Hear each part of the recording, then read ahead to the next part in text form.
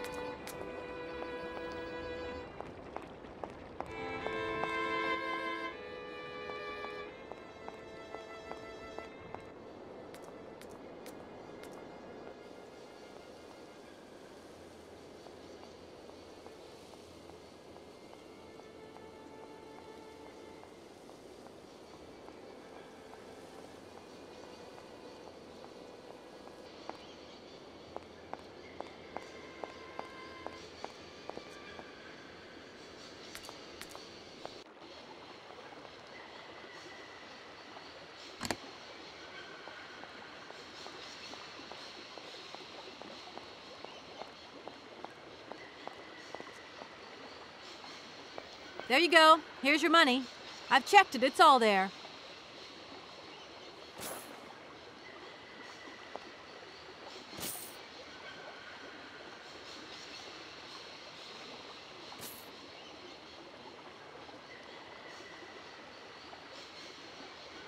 Ah, thank you. Not difficult get dollar. See? You are a real businesswoman. I'm not the only one around here.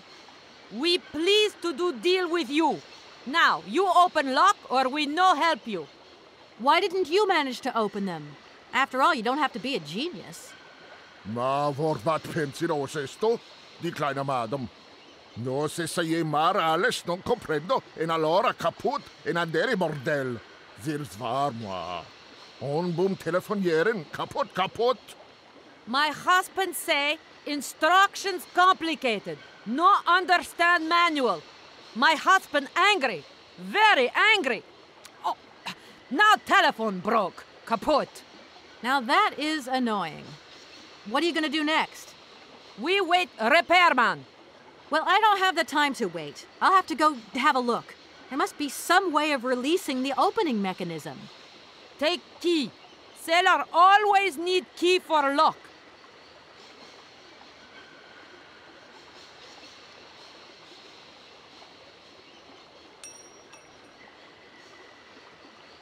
Okay, thanks.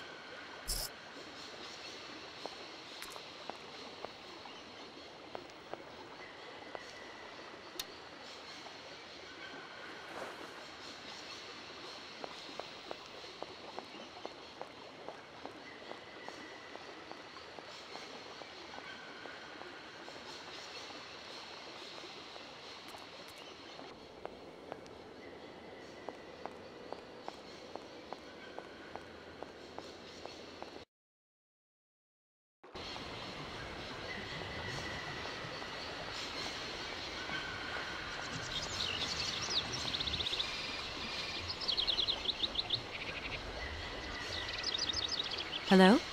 Kay, how's my little baby girl? I was thinking about you only yesterday because I saw this fantastic fur coat. You are wrapping up warm, aren't you? I mean, people in foreign countries never know how to dress properly for the weather. Mom, it's so sweet of you to worry, but I'm fine, really. The trip's a breeze, no worries. I mean, there's. Well, when are you coming back? Frank is dying to meet you. Frank? Oh, yeah, your singer. You two seeing each other then? Oh, you'll never guess the surprise he gave me yesterday. No, I suppose I won't. Frank invited me to a big charity show organized by, oh, uh, well, someone or another. Uh, anyway, they got him singing a couple of old numbers from his repertoire, and in the end, he asked me to go up on stage with him. Can you imagine me, your mother, on stage in front of thousands of people? Wow, I would have loved to have been there. Not too emotional, I hope. Oh, too emotional by far, especially as I hadn't even been to the hairdresser. Well, I didn't even have the proper dress on. But Frank promised me he'd see to that next time. Oh, he's such a cutie, and he's got the sweetest little. I'm sure he has, Mom. It would be so good if you could join us one day. Let's see, when is his next gala? I'm so forgetful these days. I swear I'd lose my head if it weren't in the clouds. You just watch out, my girl. Them years will catch up with you much quicker than you think. I'll look out for them, Ma. Nice to hear your voice. Lots of love. Well, to you too, my little munchkin.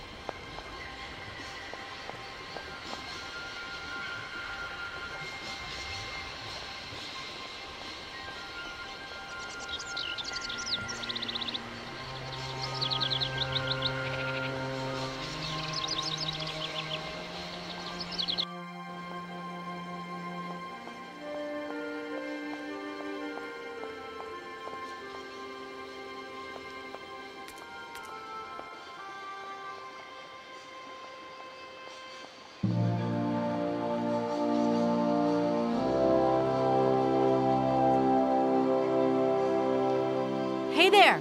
On the boat! Guten Tag, schöne Mademoiselle. My husband say, hello, young lady. You want to talk to us? Right, I've got it. I know now how the locks work. So guide your boat into the lock, and I'll take care of the mechanism. Gott verdammt. Das ist eine echte Ladies. Alle trois, range alle Dingen and obligados de dame. Ach, set content on route again. What did your husband say? You, hurry up. We hurry to travel again. Okay, okay. We'll meet each other on the other side. By my train, okay?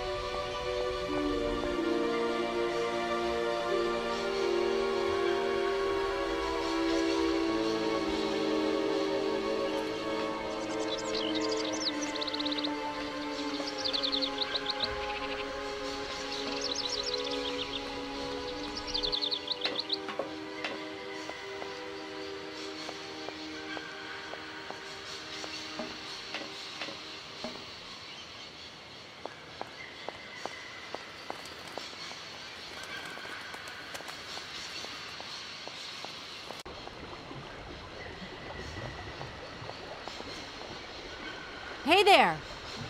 On the boat! Da, da, barge on other side. You still need us? What do we do now to tie my train to the barge? Mademoiselle Takatak, Loco Coco Mitchen. What did your husband say? You attach chain to train and chain to train with barge. Hop! Catch it, sir.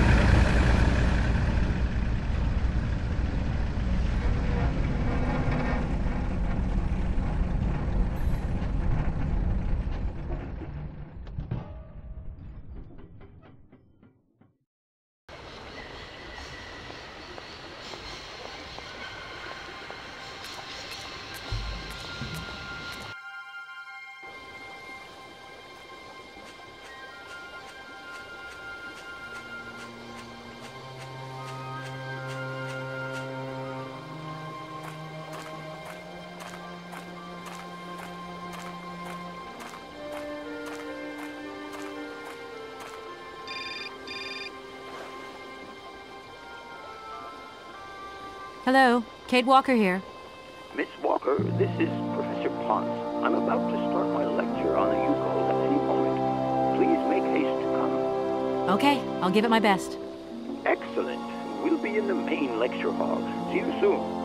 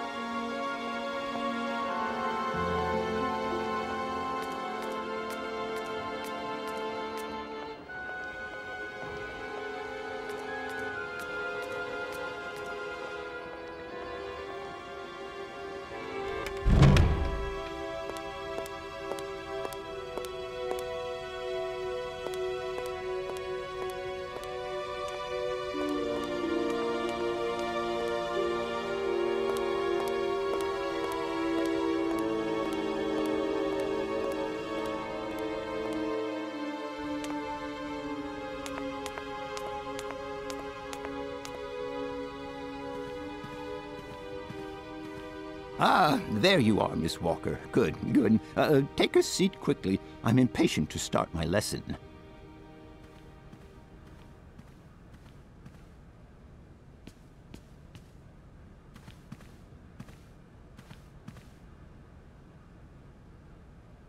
My young friends, a very exciting discovery, unimaginable up until only a few hours ago, has come into my hands and has finally allowed me to complete my study on the mysterious Yukol people.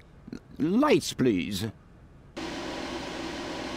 The Yukols are a people from the far north about whom very little is known. They live far away, very far away, on the frozen borders of Siberia. This distance and the climatic conditions of the region, which are unfavorable to human existence, have limited the size of the Yukol population and kept it out of reach of the scientific world. The handful of slides that follow are actually the only documentation we have in our possession. It was a Russian explorer who made these drawings and took these photographs a hundred or so years ago. Today, we owe what we know about the Yukol people and their culture to him. We know that the origins of the Yukols date back to the last ice age. Curiously, evidence of their presence has been found in Western Europe, and more precisely in the prehistoric caves at the heart of the Alps. This people, it seems, undertook a long migration over centuries towards the far north of the globe. The reasons for this migration are due to the importance of the mammoth in their craft, trade, and culture. They used them for transportation and as beasts of burden. The mammoth brought them meat, skins, fat, and ivory. Man and animal lived in symbiosis. There's no doubt about it mammoths started to drift away from the region due to changing climatic conditions, and the Yukols followed them to the north, the edges of Siberia. Prehistoric cave drawings, identified as Yukol in origin, first led me to the extraordinary hypothesis that the Yukols had managed to domesticate the mammoth.